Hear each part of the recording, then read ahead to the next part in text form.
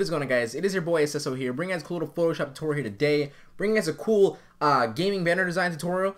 Um, we're going to be doing a really, it's a really simple scheme as you can see, but these really subtle kind of like, like highlights that I have in this banner design are just really dope in my opinion. I always have a lot of colorful and like, you know, freaking exciting kind of like banner designs. The last like gaming oriented banner design that I had was like the Overwatch one was a lot of color. Um, just like a really cool like, you know, I did like a really cool text effect as well. Um, so for this one today, it's kind of like very dark and just like I have like a Call of Duty kind of theme going on here. So um, basically on the left hand side, as you see over here, is the Call of Duty 4 remastered kind of soldier holding his shotgun right here.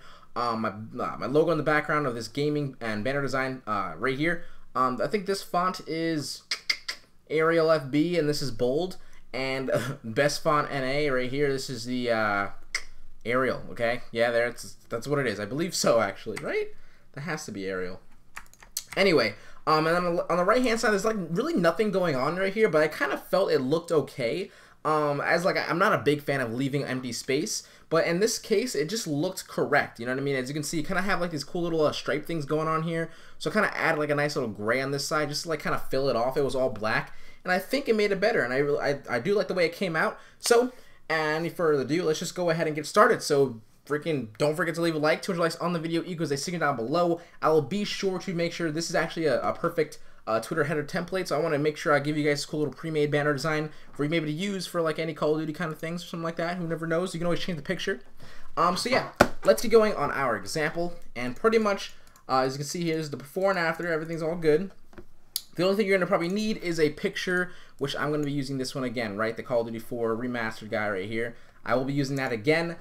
Um, other than that, I believe my starting black that I use is Hextech uh, 0F0F0F, and then pretty much we are good to go now. So, the first thing I'm going to go ahead and do is just set up this cool little soldier here, and I'm going to go ahead and make this bigger by holding Alt and Shift and right-clicking, or click on the right over here, and then just dragging it up. Um, and I believe I am okay with this.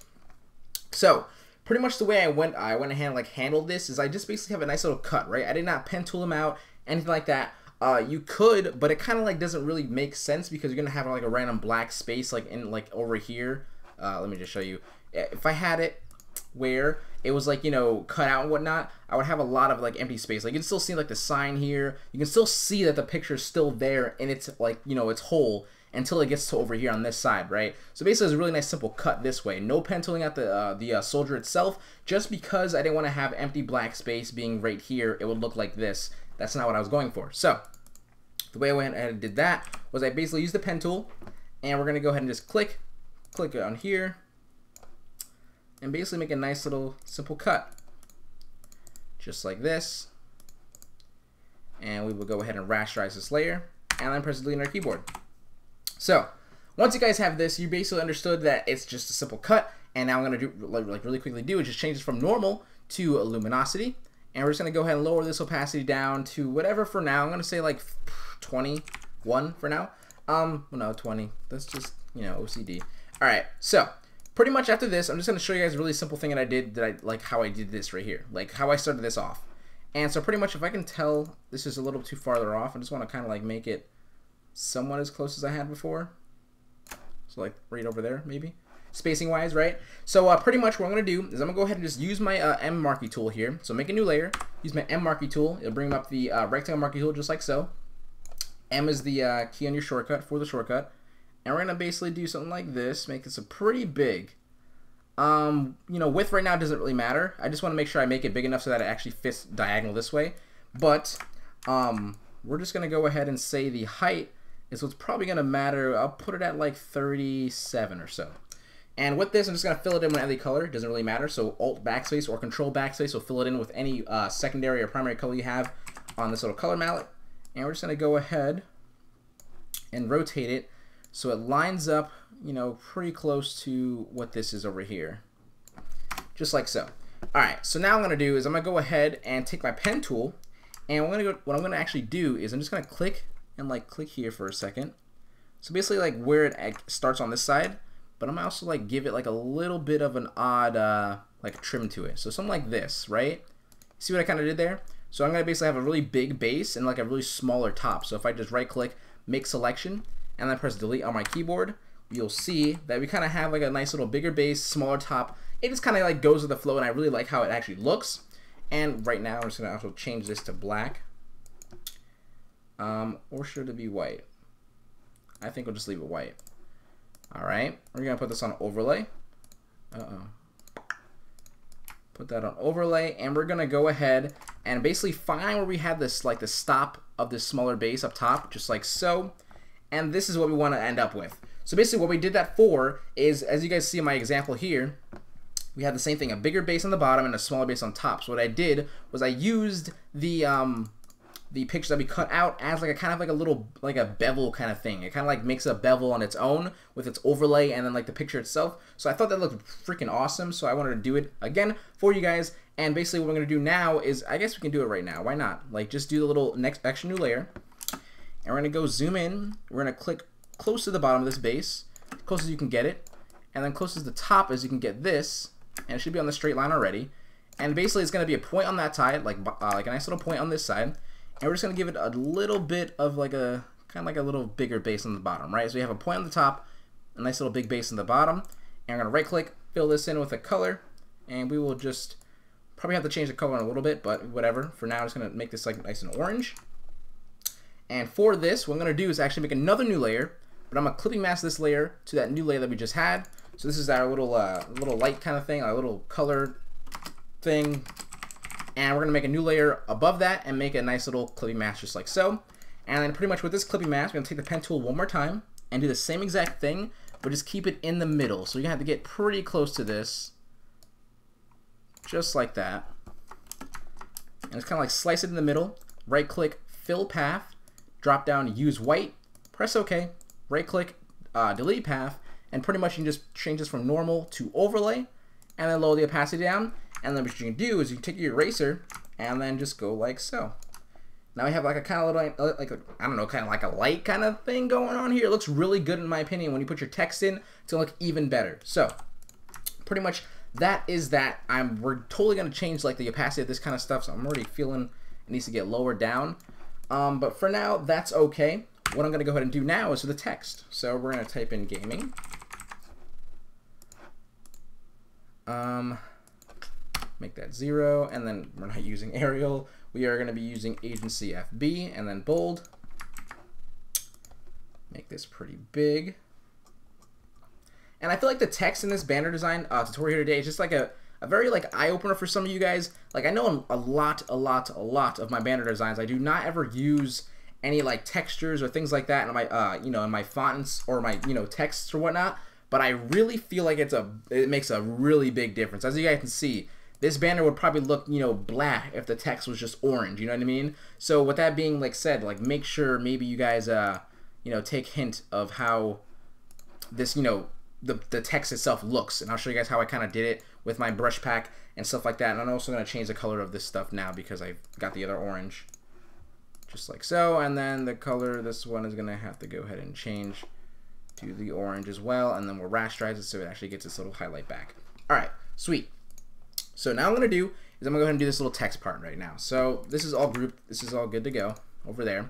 And we're to go ahead and uh, we're just to basically start off with we're gonna start off with the nice little like kind of like a just adding a little stuff to it so just brush pack right i'm gonna use my uh, stock brush pack if you guys want you can purchase down below i'm just gonna use some things from this really quickly um, you can use whatever the heck you guys want. If you guys just Google like uh, maybe dust particles or something like that to kind of get something that looks like this, and like you know make sure it's black, and then just click a couple times on it, kind of give like a nice little like you know just a little bit of texture going on right now for that. And what, I, what I'm gonna do is I'm gonna go to my textures.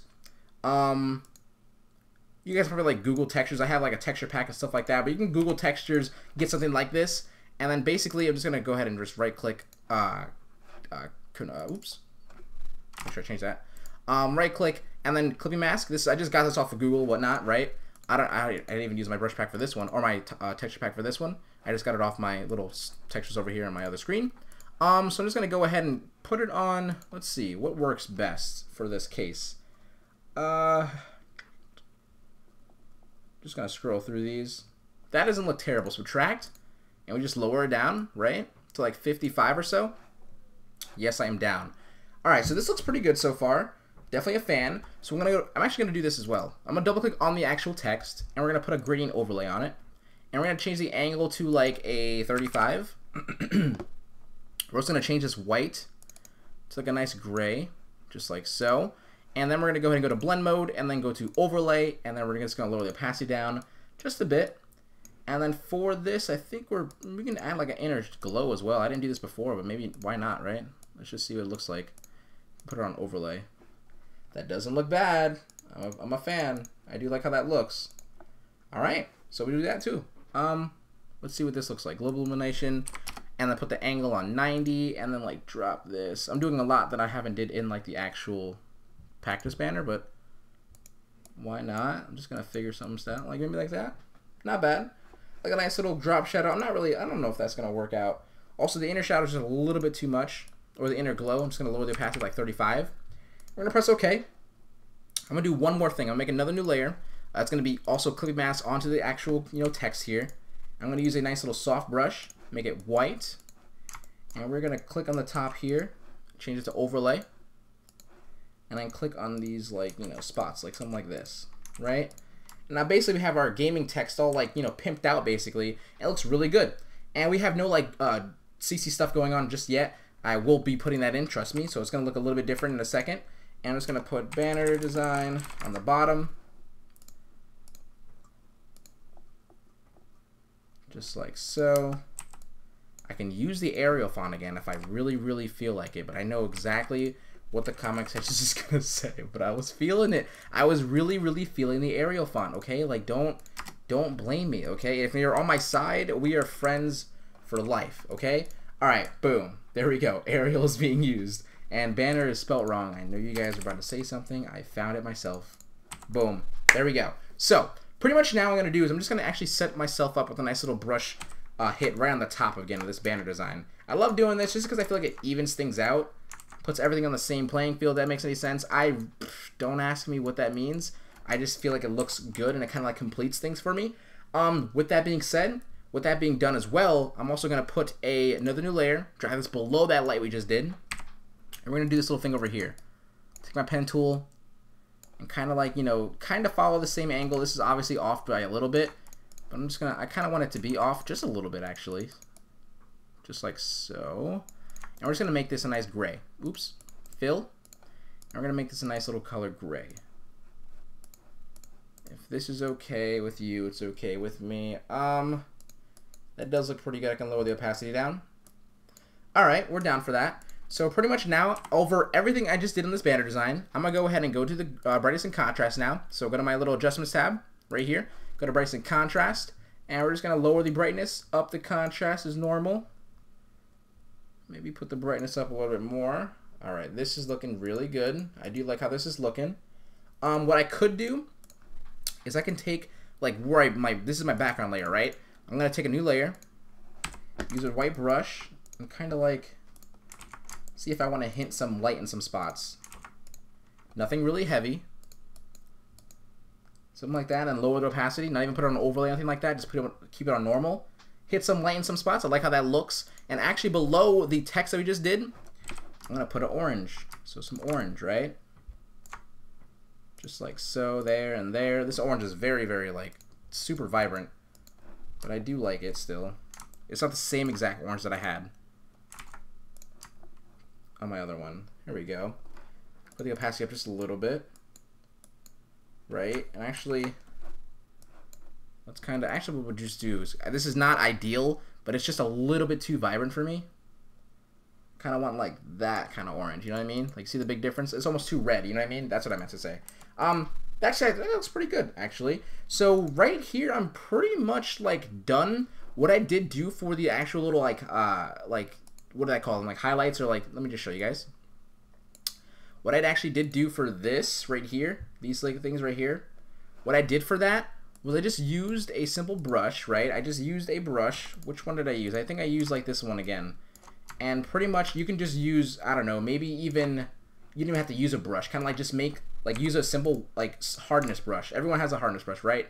Let's see if this works. If it doesn't work, I'll just use my other brush. But I'm just gonna go ahead and kind of just go like you know with a white brush, pretty small diameter, like three or so.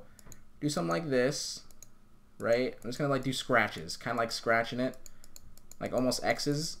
We'll see if this works or not. Something like that. And I'll just take like a nice orange and do that like right here and like right here. So with these little scratches, let's see if it works. I'm not really sure, but I'm going to go to blur, motion blur, and we're going to go ahead and just use about 34 pixels on a 55 angle. Pretty much press OK, and it kind of worked. It doesn't look terrible. And just slow the opacity down, just like so. Right? Not even put it, we can probably also put it on like, mm, mm, color dodge. Maybe color dodge, that wouldn't be too bad. Looks pretty good. All right. Looks like 35 or so. All right, so I'm definitely a fan of this. It's pretty much, we're almost pretty much done. Like, I, the only thing I want to try is just an exposure. See what it looks like. Put the exposure up, offset. Mess with the gamma correction. Probably not ideal for this kind of thing. It's very, very, very dark already.